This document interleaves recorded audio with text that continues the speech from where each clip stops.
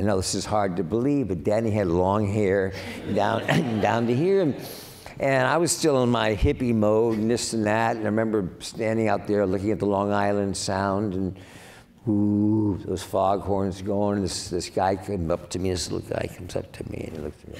Hey, I go, hey, how you doing? Yeah, pretty good. Hey.